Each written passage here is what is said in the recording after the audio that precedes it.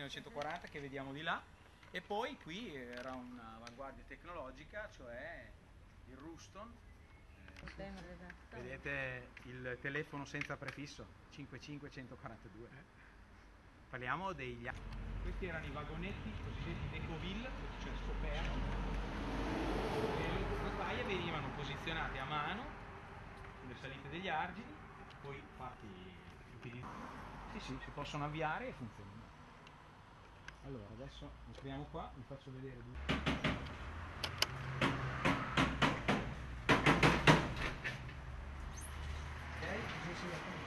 Bene? Se c'è una scossina vi mettete posizionati vicino a quella parete colorata.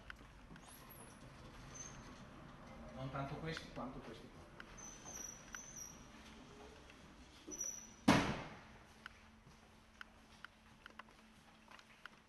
Allora, tutte le pareti ad esempio da qui a questo, a questo ufficio qua, è abbastanza impressionante. Se non fosse andato sotto, la, sotto le, i tavoli è quello di qualcuno, forse voi non vi ricordate perché non l'avete sentito, a gennaio c'è stato un colpo di terremoto durato poco perché è durato poco poco. Però noi siamo usciti, abbiamo fatto le eh, anche qui.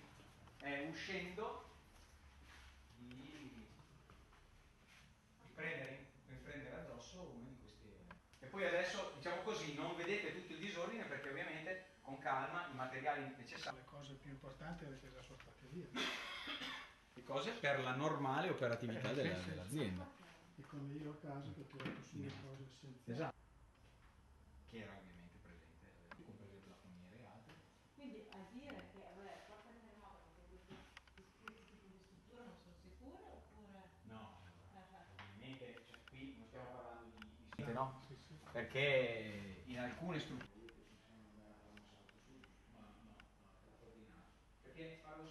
quasi tutti i capannoni, questa è una struttura degli anni 80 con i pannelli infilati dentro, no? assicurati, erano semplicemente appoggiati, con pannelli fotovoltaici, c'erano parecchi Abbiamo cercato di recuperare qualcosa. Il magazzino odorizzanti, il deposito odorizzanti con il quale CPL serve tutti i comuni d'Italia e le municipalizzate per l'odorizzazione del gas, un'attività importantissima per CPL e anche per la sicurezza dei cittadini, era stata costruita in maniera antisismica e infatti non ha fatto una crepa. È stato un momento abbastanza difficile per i collaboratori, eh, però comunque abbiamo dovuto subito eh, muoverci per non star lì a aspettarne un altro. E poi ne è venuto un altro, purtroppo ne sono venuti diversi. Comunque noi siamo stati anche abbastanza fortunati in questa azienda perché non abbiamo avuto dei danni o piccoli danni in questa azienda.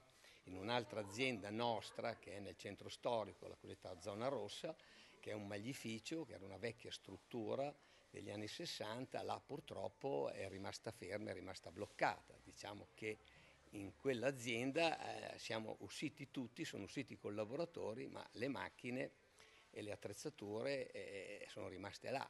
Ecco, io sto anche lì aspettando l'autorizzazione per poterle appunto recuperare. Abbiamo parlato col sindaco che ci ha aiutato, ci è stato molto vicino, ma comunque abbiamo preparato un piano di evacuazione eh, finanziato dall'azienda, finanziato da noi, garantito con due ingegneri che hanno garantito l'operazione con una ditta specializzata, stiamo purtroppo però ancora aspettando l'autorizzazione. Ecco, c'è un po' un rimpallo fra la protezione civile, fra i vigili. Ecco, mh, vorrei ripetere che comunque il sindaco c'è vicino, sta collaborando, sta spingendo perché arrivi questa autorizzazione. Sì, eh, Circhi, eh, nostri amici o di parenti del Presidente hanno dato immediatamente la disponibilità di queste strutture che consentono la refrigerazione ai container, circa 130, che sono disposti per l'accoglienza di impiegati tecnici e operai. Ecco, Quante persone lavorano allora sotto questi tendoni? Sotto questi tendoni sono 500 persone qua a Concordia e altri 100 nella sede di Mirandola, ugualmente colpite dagli eventi sismici.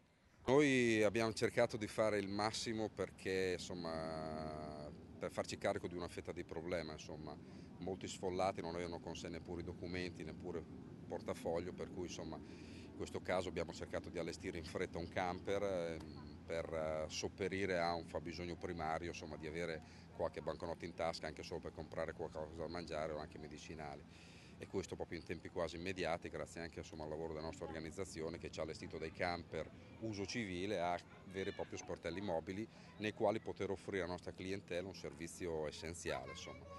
Questo poi ha portato un'evoluzione, chiaramente il passo successivo è stato quello di allestire il container nel quale insomma, siamo operativi al 100% pur in una criticità legata insomma, a un servizio che di fatto è un po' snaturato rispetto a quello precedente. Non ci dobbiamo fermare e direi che non ci stiamo fermando, i collaboratori sono stati molto bravi, sono venuti giù dai piani superiori, siamo tutti un po' nei container fuori, un po' nel magazzino, un po' come vede siamo ammucchiati qua e, e continuiamo a lavorare, continuiamo a lavorare e contiamo, auspichiamo, confidiamo di potercela fare. Ecco. I comuni d'Italia e le municipalizzate per l'odorizzazione del gas, un'attività importantissima per CPL e anche per la sicurezza dei cittadini, era stata costruita in maniera antisismica e infatti non ha fatto una crepa.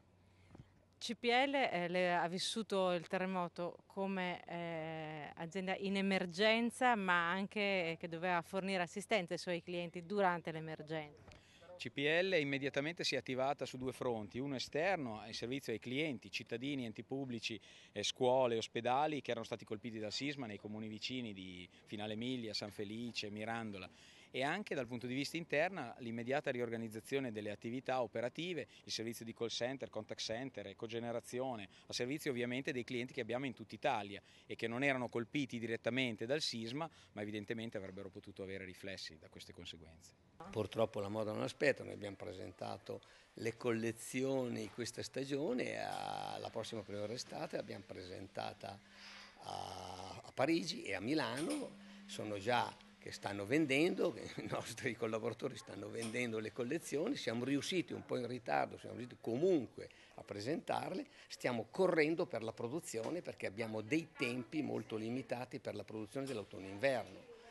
Eh, noi fortunatamente lavorando col mercato estero abbiamo la fortuna che il mercato l'abbiamo, stiamo lavorando bene, non abbiamo problemi, però comunque se non consegniamo nei tempi, nei tempi giusti eh, i, i, nostri buyer, i nostri clienti esteri non ritirano la merce. I nostri danni sono più per i ritardi di produzione, i nostri danni anche perché la nostra filiera produttiva, che nel caso specifico della maglieria è tutta qua attorno, di conseguenza abbiamo tutti i nostri partner, i nostri eh, collaboratori esterni, i nostri partner che lavorano per noi, che anche loro sono fermi o hanno la merce dentro che ce la devono dare indietro, qualcuna ce l'ha ridata, qualcuna non ce l'ha ridata, perché anche loro aspettano le autorizzazioni per farcela uscire, come le tintorie, come i maglifici, in, in maggioranza sono questi il, i gruppi che sono in difficoltà. Ho già invitato uno psicologo e farò appunto una riunione con uno psicologo e poi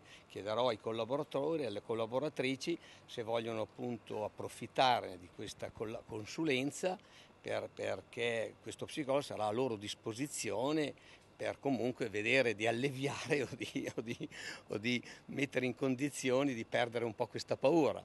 Perché noi adesso siamo ai piani bassi, stiamo ristrutturando il secondo piano, ci saranno gli uffici nuovi e in questi uffici entro ottobre vorrei ritornare. No, no, non ci sono diversità di classi sociali, di politica, assolutamente, si è tutti fratelli.